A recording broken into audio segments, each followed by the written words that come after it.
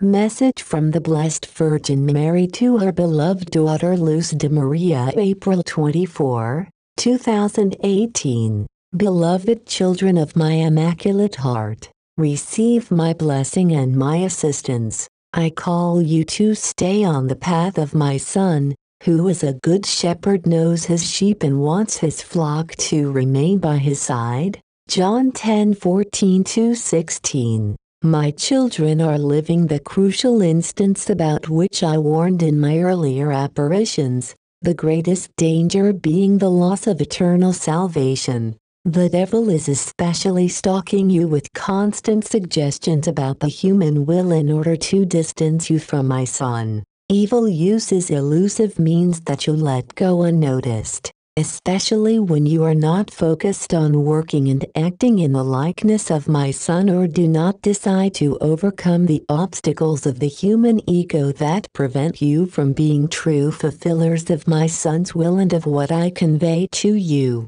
Beloved children, every instant of life has to be used for spiritual growth and not to regress, giving free rein to what the imagination suggests to you.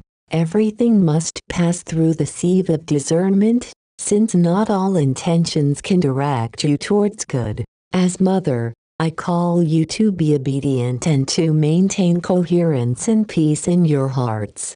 Children, good intentions abound, but not all of them take you to the path of good. The human creature is inclined to its personal tastes or desires, sometimes wanting to impose what keeps you comfortable, disrespecting your brothers and sisters, walking in the divine will, you will find instance in which you will understand that it is not your own comfort or personal convenience or individual taste that really directs you towards this divine treasure, but on the contrary, the fact that you strive to lead your personal ego towards fraternity and freely make it uncomfortable so that it would listen and admit others' criteria. This is precisely what will lead you to discern and not to live imposing yourselves on your brothers and sisters. The wise person is the one who listens and learns, not the one who closes their ears and thinks that they know and know about everything. Proverbs 19, 20, James 3, 13 18.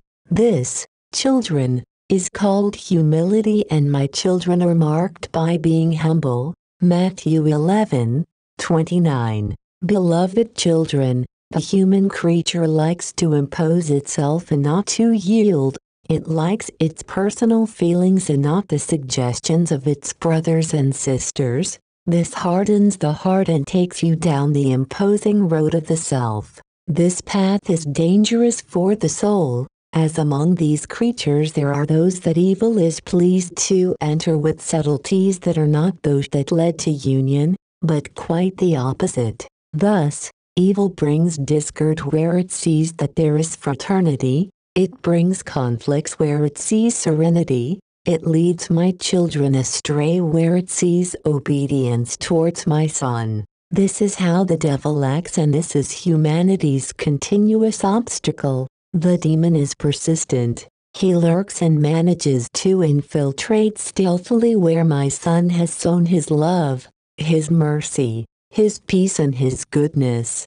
Be astute, my children, do not allow the devil's snares to obstruct the work of my Son in each one of you. It is necessary for the triumph of my immaculate heart that each one of you entrust yourself to my Son with all your strength, powers and senses, know the divine word, penetrate within Holy Scripture, pray, repent of evil committed, Receive my Son properly prepared and be true messengers of Trinitarian love so that you can resist faced by what the devil is going to pour out upon the people of my Son. In times of confusion, turn to the law of God, in it you will find the divine will in every time and place. Psalm 19:8, Romans 12, 2. Children of my immaculate heart, evil spreads without stopping. You need to spread good without stopping. Men suffer.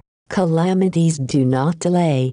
minds polluted by evil continue with their aim of leading humanity to chaos. I call you to pray, yes, children, to pray. Do not forget that when a people pray with the heart, they are heard, and just as the most holy Trinity hears its children, in this way it warns you in advance of what humanity can suffer so that you pray and so that each one of you be the intercessor of your brother and of all humanity.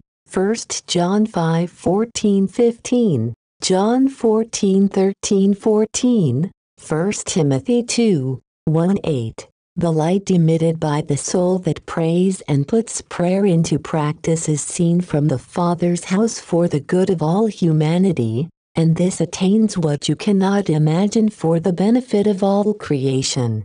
Beloved children of my immaculate heart, I do not fail to hear the supplications of those who pray for my assistance. Be constant, persevere so that you are not prey of the enemy of the soul. Humanity does not obey my son, it has taken its own course and I call you to do good and be messengers of peace, cf. MT5, 9. I bless you with my love. I love you, children, Mother Mary. Hail Mary most pure, conceived without sin Hail Mary most pure, conceived without sin Hail Mary most pure, conceived without sin.